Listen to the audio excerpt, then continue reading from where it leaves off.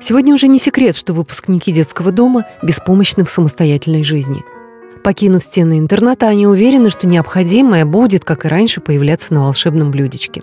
Смотрите программу «Право на маму» 15 февраля в 19.35. Спонсор программы – благотворительный фонд «Радость».